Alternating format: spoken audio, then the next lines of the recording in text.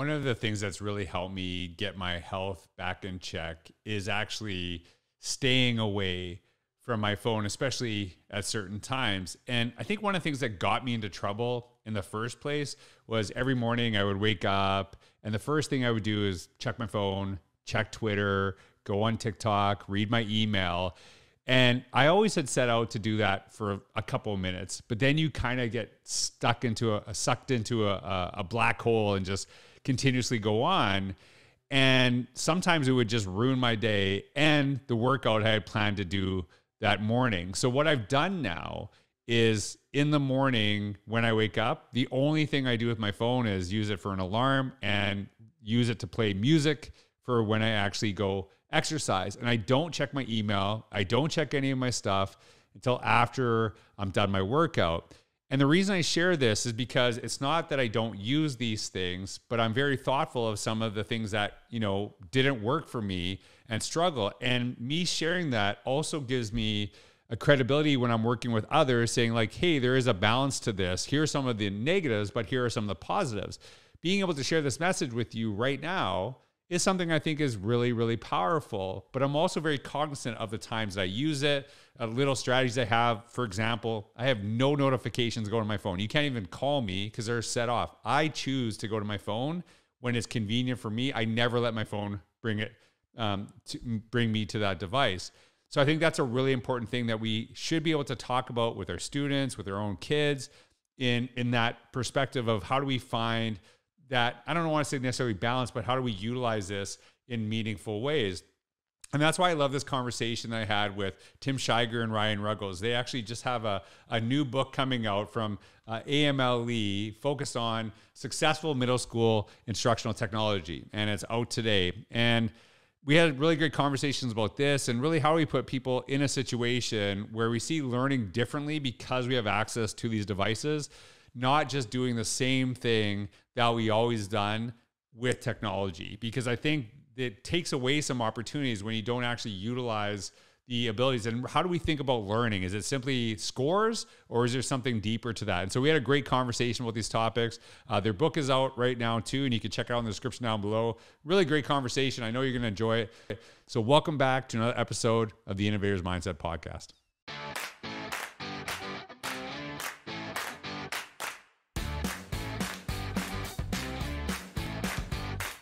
Hey everyone, this is George Couros. Welcome back to another episode of the Innovators Mindset Podcast. I'm blessed to have Tim Schigur and Ryan Ruggles, who are the authors of the brand new book and is available right now, uh, Successful Middle School Instructional Technology. Now, we are recording this in September of 2023. Uh, this podcast has been released right after the release date on November 1st.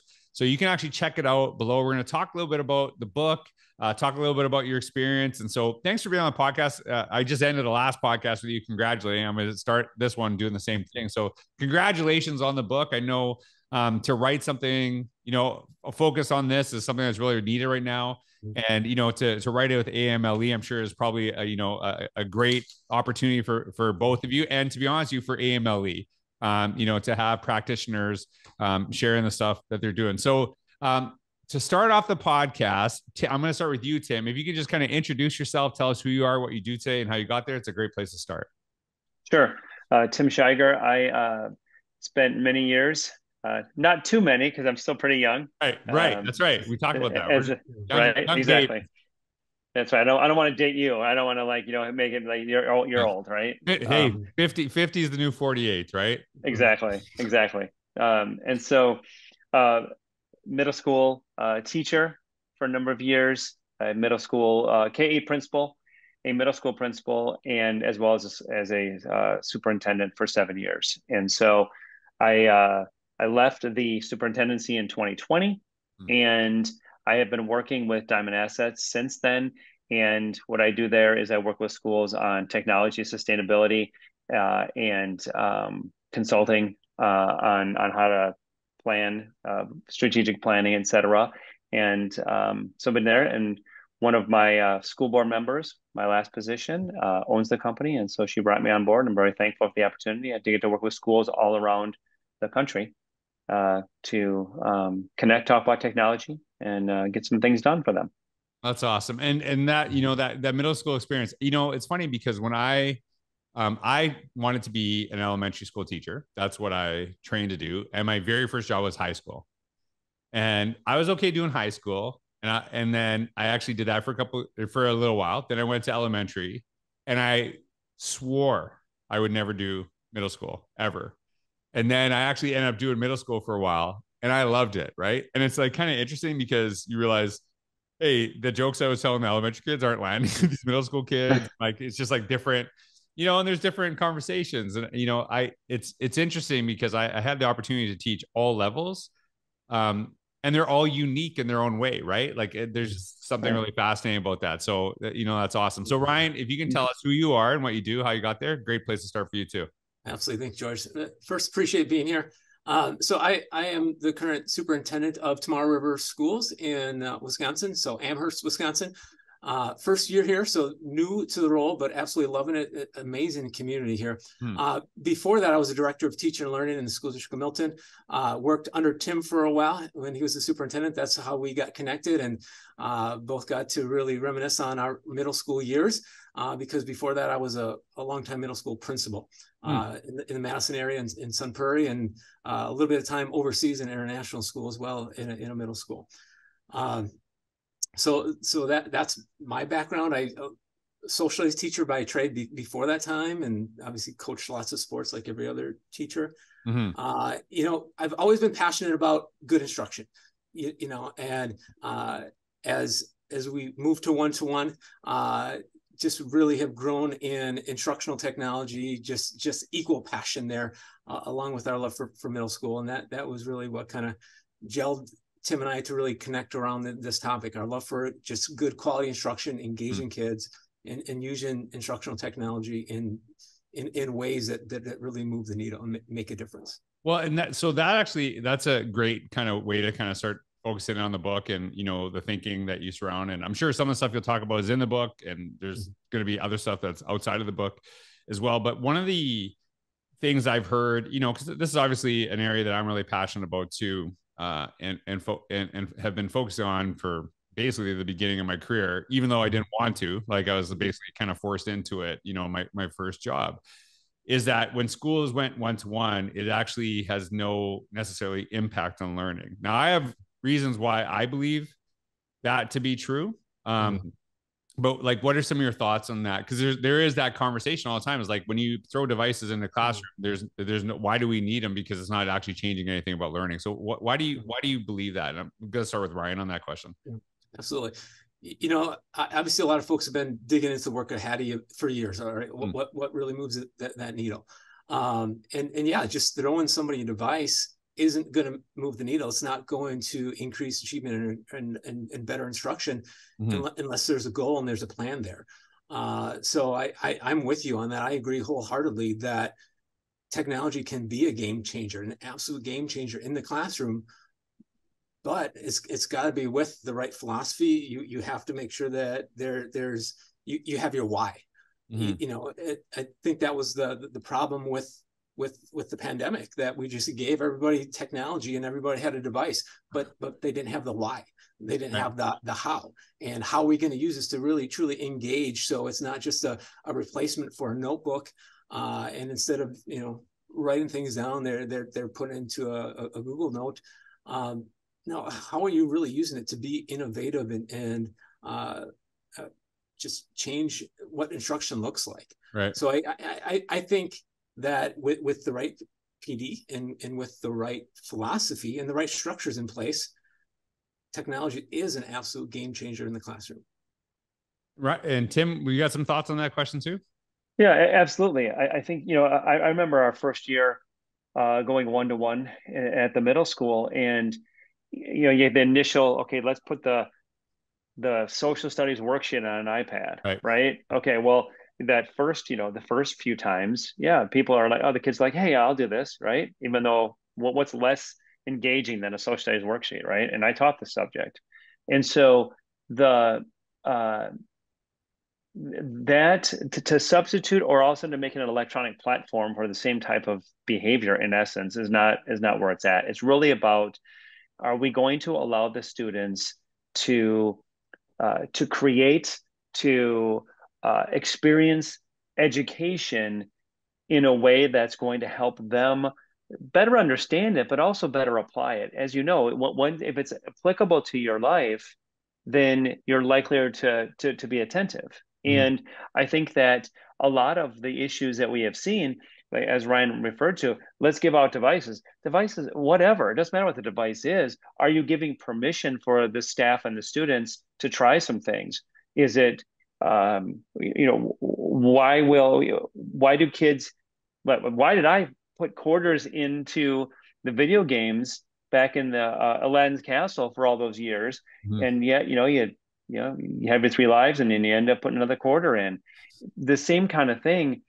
Kids will try if there's if there's that risk reward piece and the allowance, and I think that as adults, what we've done is we've taken technology and just turned it into another a, example of compliance of we want to make sure the kids don't do this or this or this.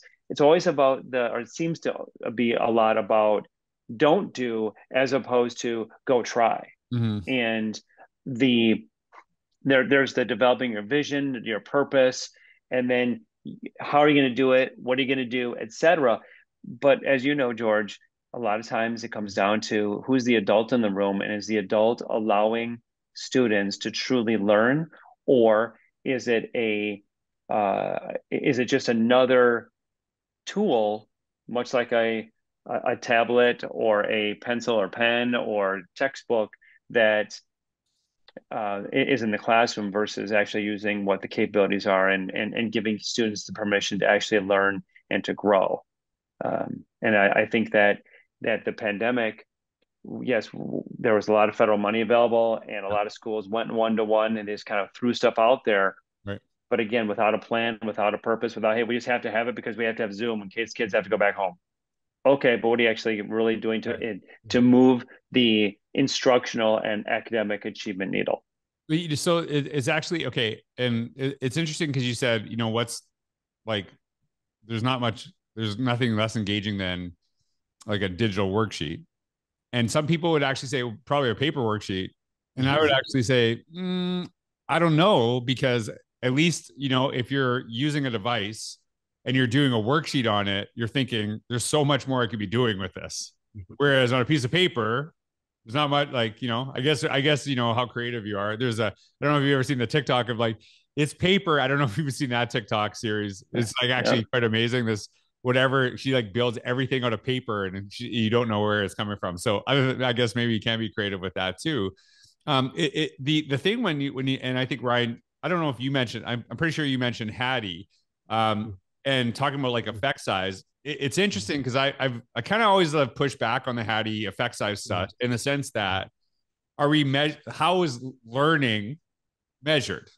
Mm-hmm. Is it like, here's, are we saying, is learning just used synonymously with, we saw an improvement in test scores? Mm-hmm.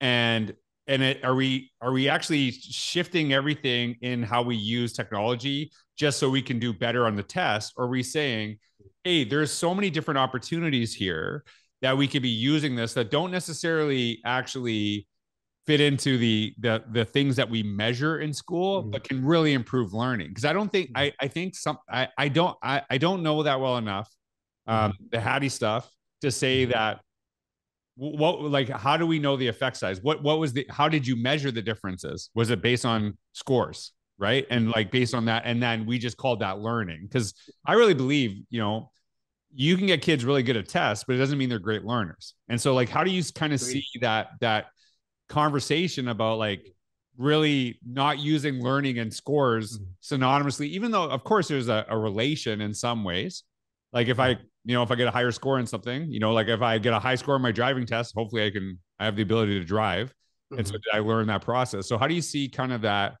maybe that, that connect or disconnect in mm-hmm. like what we're, cause I think part of it too is if you're just doing the same thing that you were doing before mm-hmm. with technology, then I don't think it's a good solution. Mm-hmm. But what are you doing differently now mm-hmm. that you have the technology? I think is what matters most. Absolutely. Absolutely. I, I agree with you 100% on that. You know, and I, I, Yes, absolutely. Achievement is is important. It's it's it's it's how we are measured as, as, schools, you know, by the state, by by our communities, by by, by our parents. Um, you know, but I also look at that. That's a piece of the puzzle that I'm going to look at. Uh, the other right. things I think technology can do from an engagement standpoint is uh, keep kids engaged in school, keep them connected to school. Mm-hmm. Let, us let, face it, um, kids learn better when when they have a great relationship with their teacher. So if if, if their teacher is is pushing them in, in instruction and they're they're doing collaborative activities, they're doing engaging activities, that kid is going to be more connected to school. They're going to be more apt to show up every single day, excited to learn and try new things. Uh, and and yep, that might not it might indirectly help some of those test scores, but it might not directly affect right. those test scores. But it matters. That stuff that that definitely really matters. Uh, and one of those things that I think technology can do that we, we don't always give it credit for. Yeah, my my my my conversation, and I share this with schools and and organizations I work with. If you get kids to be really great at tests, that doesn't mean they're great learners. But if you develop kids as really great learners, they'll be fine on the tests. And I, mm-hmm. I think the the comment that you said, because I'm not, I'm I never want to go somewhere and the scores get worse because I went to visit, right? That, that's that's really you know right. I don't want that. So, but I think it's really important because some people see it as a piece of the puzzle. Some people mm-hmm. see it as the as a one piece puzzle, right? Mm-hmm. And they they they might say that, but then everything they talk about is measured by that score. And so I think you have to look at what are some different ways. So portfolios are a really big thing for me because it can share learning in different ways, but it's not easily measured. But you can really mm-hmm. tell a lot. Like if you want to hear, if you want to know how good a kid is at a language, a scorer will never tell you as much as actually hearing the kids speak the language over time, right? And it's so easy to capture with podcasting, SoundCloud, blah blah blah, the million technologies. So how do we think differently about this? Now, one of the things, and I I, I was really kind of fascinated when you when you brought this up, and I think it's a really important conversation that we need to have, you know, more in education. And I think I think all of us when we're talking about this, you know, having a conversation before, I, I think a lot of times we want everything just black and white. Like it's either good or bad, right? And my conversation all the time is no, we just got to be in the gray. It's all gray and we got to get in there. And one of the things you I know that you talk about in this book is a focus on digital wellness. And I'll start with you Tim on this. Like what when you say digital wellness, what does that what does that mean and what does that look like in a classroom? Sure. Well, and and you're right. You know, you know, rules and and uh, structures are black and white, but life is lived in the gray. And so, how do we allow the exploration of the gray? And uh, that because that that's where the magic happens, right?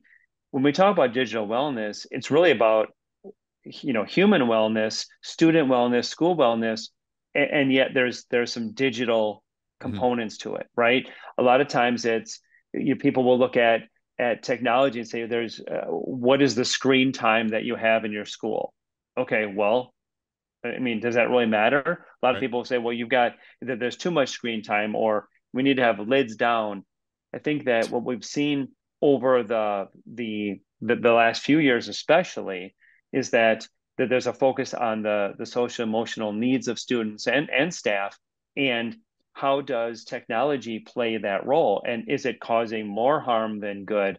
Mm-hmm. again i don't think technology is evil or or is the cause of the problem. It's the activities that we do right? It's the the other things. But when we talk about digital wellness it's really about are we working with students to help them understand the benefits of the use of technology? I mean there's plenty of you know again going back to uh, carbon dating ourselves george. When when back in middle school for example, if you had a uh, an an issue with a friend, there's usually a cooling off period. Like maybe you don't right. call them at night or you don't see them until tomorrow. Whereas now there's so much 24 7 access, right? And I can say, well, you know, look at what George did. And then there could be 16 or, you know, likes to that. And then you get upset about it.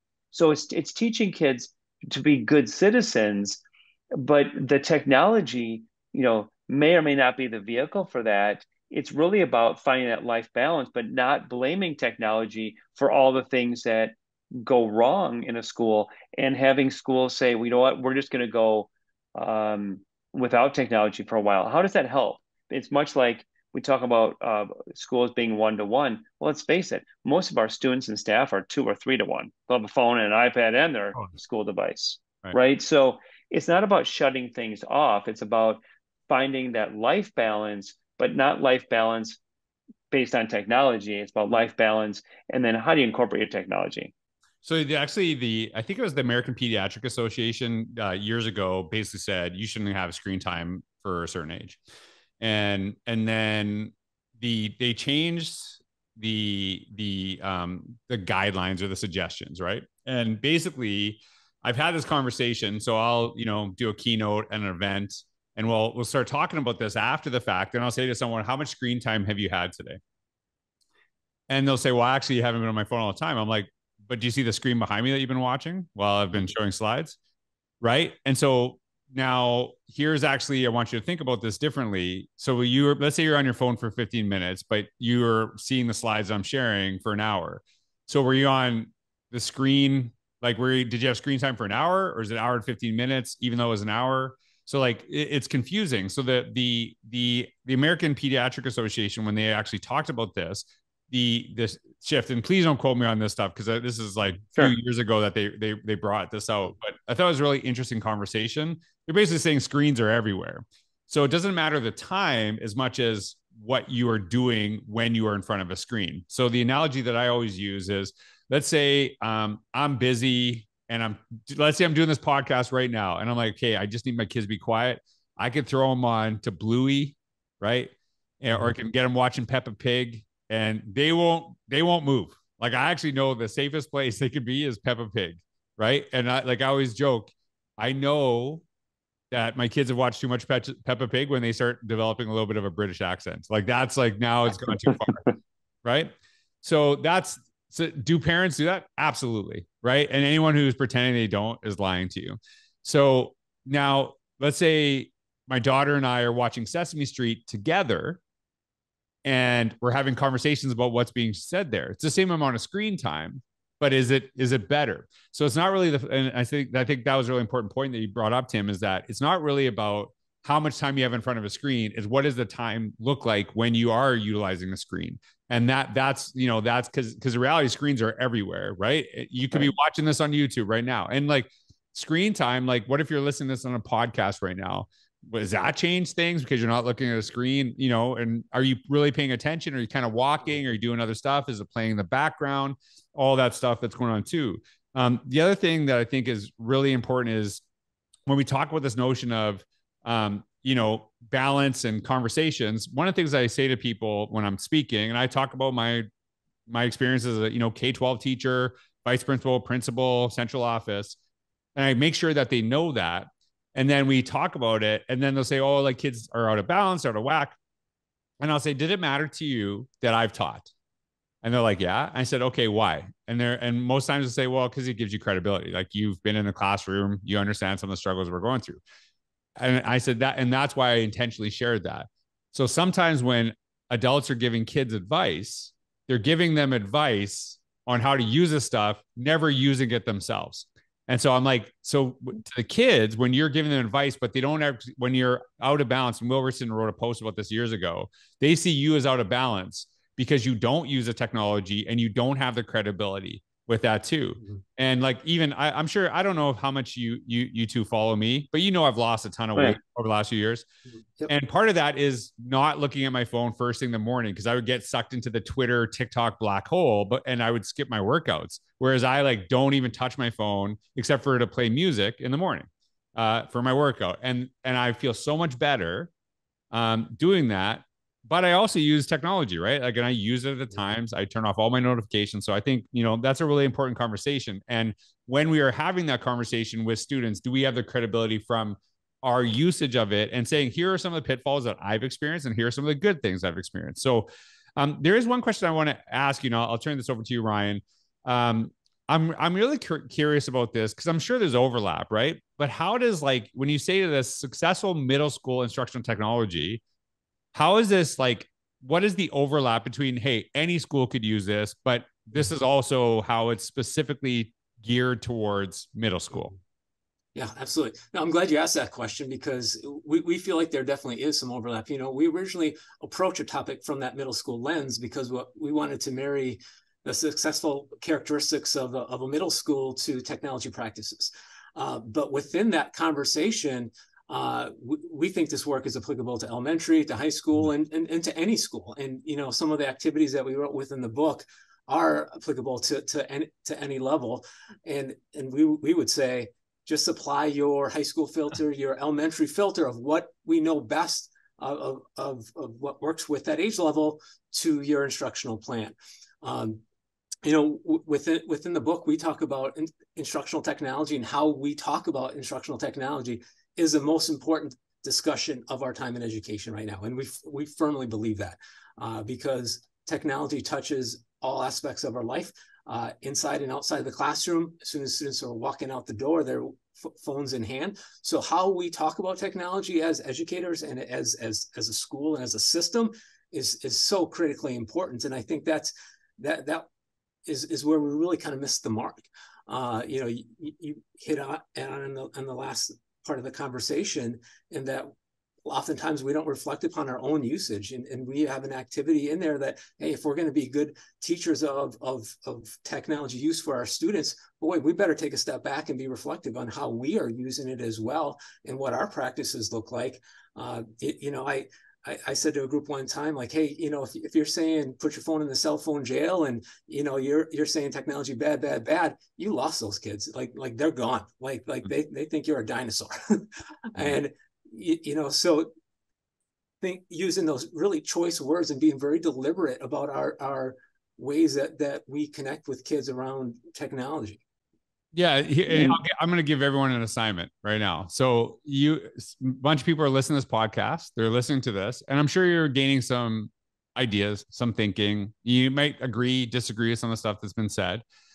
If you really want to go to the next level, blog about it, do a podcast, do a TikTok response, do an Instagram response, right? Comment, you know, on YouTube, share some thinking because that really changes it. Because I think a lot of it, when we look at technology, it's about the inputs that go into our brains, but it's not necessarily with the output. And that's where I that's where I truly believe that the best learning happens is when you actually take the information, even like even I've been saying this for years. When you go to a conference, like go see a keynote and then skip the next session to blog about the keynote. And then that will be so much more powerful than some of the sessions you can go to, not because the sessions aren't great after. And you can do the opposite. You can skip the keynote, do it from a breakout, whatever. But it's really that's where the learning becomes your own. So I think that's a really important conversation. I know Tim, you had something to say on this. Topic. Yeah, George. So um, you think about your, your days as a as an educational leader. When when building a budget, the, the, the best organizations, they will fund their vision as opposed to visioning their fund, right? right. And it's the same approach with what we're talking about in, in the book is what is your vision? And then fund your vision with action to to to reach to have the students and your staff reach that vision as opposed to here's the stuff right. now go do with it right? And then then you what you then you have some happy accidents we'll call them that that make you feel good about oh look at what we're doing over here. We'll mm-hmm. highlight this stuff but then we're going to forget all the skeletons in the closet where it's not working out right? With this teacher isn't really using it or whatever. And so again it's about what is what is your purpose for having technology and then let's support a system that gets you to that purpose as opposed to eh you know just you know here's some money here's some stuff go go do and then you know we hope that it'll work out you know, so um, Allyson Apsey and I are working on a book right now, and one of the things that we talk about is kind of what you said is like really that resource maximizer, right?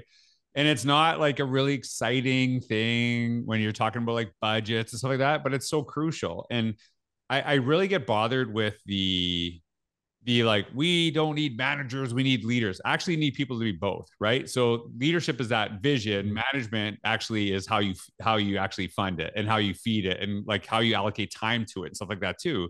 So um I, covey says it really really well. And i i can't remember if he wrote this or i just heard him saying it but he said um, leadership is about people and management is about things and you need to be able to be good at both if you're really trying to bring this you know mm-hmm. vision that you're talking about to fruition so last question i got for both of you uh, and i'm gonna i'm gonna start with ryan i'll start with you first Um, one minute or less.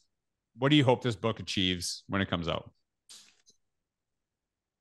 So, we want to help schools kind of take the next step. Uh, you know, we want to make sure they're they're using technology uh, to its to its best potential. Uh, that you're engaging kids. That when when when students leave that school, th- they have an amazing experience to talk about. Hmm. You know, when I was a middle school principal, we talked about being that school. Like that's the terminology we use. We said, what do we need to do to be that school? And meaning like when you look back on your time in, in, in school, like we, we, we talked at a, a, different podcast about teachers and admin that made a difference on our lives. Like, what is the school that, that made a difference on your life? Mm-hmm. So how, my hope is that, that our book can help schools be that school that make a difference in kids' lives. Tim, how about you? Yeah, I'm hoping that this book will inspire uh, teachers and leaders to look at things differently and try differently.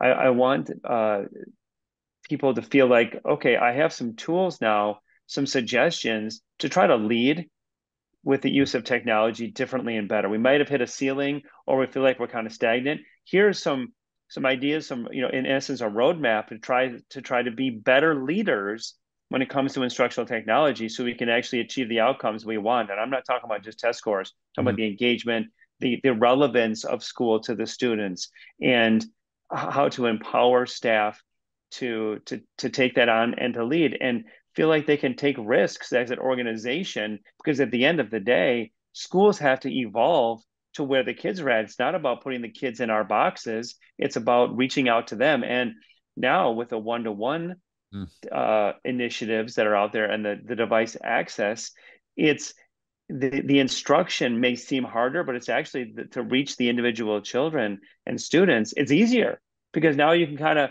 push things out and allow them to, to be where they're at and move them move themselves and help them move along. But I, I really hope this book gets adults to question where they're at mm-hmm. and to to evolve to greater heights than they thought they could be at or that they want to be at. Well, I'm excited for it. And everyone who's listening, check out the new book from Tim and Ryan, uh, Successful Middle School Instructional Technology. It is available now. You can see it in the description down below. So, congratulations, you both, guys. That's uh, pretty exciting for you. I appreciate it. Thank you so much for having us. Thank yeah, you for your pleasure. time, George. Appreciate it. Appreciate all you do. I hope it does well. So, thanks for being on the podcast. Thanks for taking the time. Everyone, thank you so much for listening. I hope you have a wonderful day.